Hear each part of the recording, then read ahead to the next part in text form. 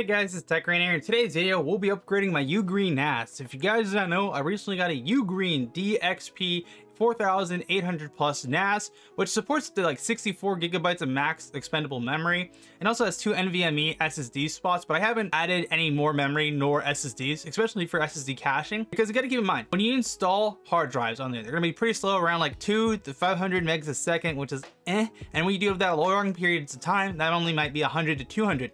And so I want to actually edit SSD caching, especially for me who moves large video files consistently since I use this for video work and stuff in YouTube, that I want to make sure that I can use this for video editing, but also making sure that the read and write speeds are extremely quick. And that's why we got ourselves 32 gigabytes of expendable memory we're to add into it. Plus on top of that too, two 990 Pro uh, NVMe SSDs for caching drives. And I will show you guys how, how I'm to upgrade that here today. So let's get into it.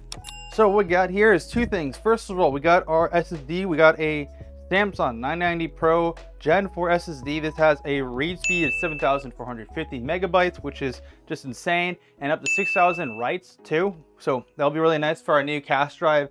And on top of that, I got some RAM, got some SODIMM Crucial uh, 16 two sticks, which is 32 gigabytes of DDR5 memory at 56 megahertz, so this should be fine. It's unfortunate that the Ugreen NAS doesn't specify what is the max frequency it supports for its RAM. Not the worst in the world. We're just gonna open up these two screws here on the top for a small screwdriver. Once we have that, we can just pull this to the side.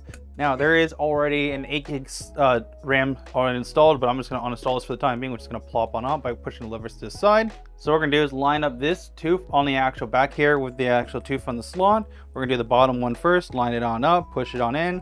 We're gonna push it on down till it clicks. That we're good to go. So we're gonna do the same thing again. Make sure the tooth is lined on up with the slot. We're gonna line on in here at a angle, and we're gonna push this on down. With that, our RAM is perfectly installed. Next we're going to do is install our NVMe SD. So we're going to take this screw here on the M2, M.2 slot. And we're going to take this on out. Now, I'm pretty confident to say uh, the two M.2 drives both share the same lanes. So you won't be able to get like, the full performance if you set this on RAID 1 for two different NVMe drives, which kind of stinks. But if you're just using for caching purposes, you'll be perfectly good. Look at that, Samsung 990 Pro. This is my first time holding one of these. This is like a new drive too for me. It's like one of the best uh, NVMe Gen 4 drives on the market right now. I was thinking about slapping a Gen 5 drive, but that doesn't make really any sense at all because this device doesn't support uh, any Gen 5 lanes. What we're gonna do is take the teeth right here on the actual NVMe drive, make sure it lines on up at an angle. We're gonna slip this on in. We have to wiggle it a bit, just push it down with one finger, drop in the M.2 screw here, and all we want to do is carefully take the screw in our driver and make sure to line on up. Then righty tighty it, to screw it back on down. An important thing to keep in mind is that this NAS does come with some thick M.2 thermal pads. So you can use these to actually get some better cooling on them.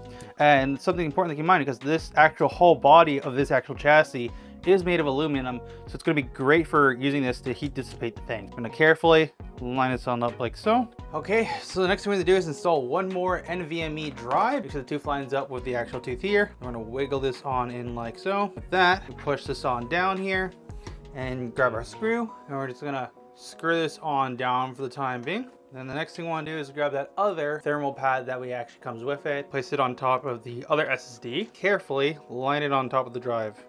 With that, our thermal pad's installed. So what we can do now is line up the top, place this back on there, and then reinstall our screws. I want to see if there's any like force between the actual thing though. So I can feel the thermal pad pushing against it, but it's not enough to be like, oh my god, I actually have to like push it really hard down. Now that we added the RAM and SSDs, what we should be able to see in our actual software here for the NAS is actually our 32 gigabytes and our two SSDs. So we go to Task Manager first, go to Memory, we can see our 32 gigabytes of RAM, which is perfectly awesome. Uh, the other thing is we want to check on our SSD. So if we go to Storage Manager now, we can see in hard disk, we can see our two 8 terabyte hard drives and also our two 1 terabyte NVMe SSDs, which is perfect. So next we want to do is add this as caching. So we're gonna go to storage.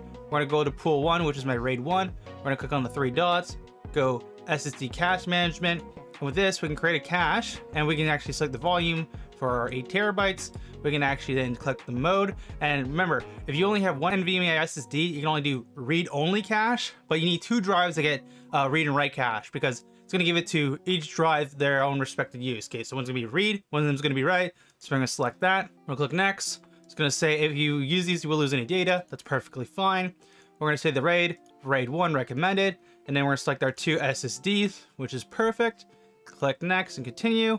And capacity, we're gonna just use all of it. And now we can just click apply and this will format it. Now we're gonna do one test before without the SSDs and then a second test afterward with the SSD to see how much does the SSD caching actually affect it. Now, what we got here is all this raw footage for 256 gigabytes of footage, which is kind of insane. So we're gonna transfer all this to the actual throughput of that 10 gigabit LAN to see how the hard drives hold up, then how the SSD holds up. This should be significantly faster on the actual SSD because the hard drives are only like 3 to 500 uh, gigabytes a second, which the other one could do up to like 7 to 5 gigs. So we'll start a stopwatch here and see how long this actually takes to transfer. We're only transferring though right now around like 100 megs to 200 megs a second.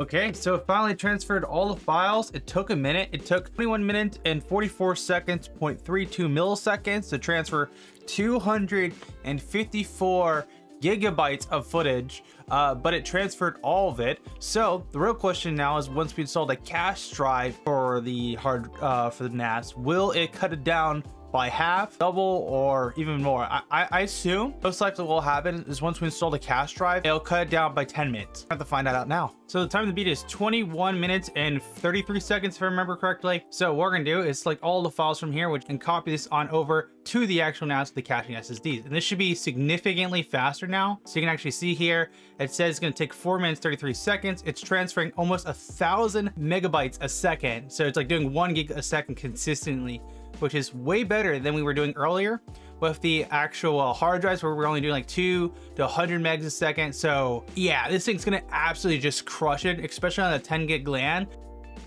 Okay, it finished. So Originally, it took us 22 minutes and was it 33 seconds? I think it was 22 or 21 minutes and 31 sec 33 seconds to actually finish. It only took us 7 minutes and 15 seconds to transfer 256 gigabytes of footage, which is actually insane. So cut our time down by half. It would probably be done even uh, more, but uh, of course the reads were like around around like what is it 9 to actually 800, which was pretty insane. It did slow down near the end to around like 100 to 500 a second, but I was like, I think those are the more complex files where it's like slowly moving those over. But still, consistently doing 8 to 900 megabytes a second to over 1 gig a second, which is absolutely crazy, just absolutely crushed it. So we were transferring on average 614 megabytes a second, which is really insane to think about. So yeah, I just want to quickly go over that, but uh, definitely worth the upgrade if you're thinking about adding an SSD cache into your NAS or Ugreen NAS especially. 10 out of 10 would recommend. But yeah, that's how you upgrade your NAS and also the benefits of upgrading to a cache actual SSD. So yeah, if you guys enjoyed today's video, found it interesting, make sure to smash the like button, get subscribed to some future tech videos because later here we got a AM5 PC build. I'm probably gonna pick up another one of those 990 Pro one terabytes for it because honestly, I think that'll be a fantastic boot drive.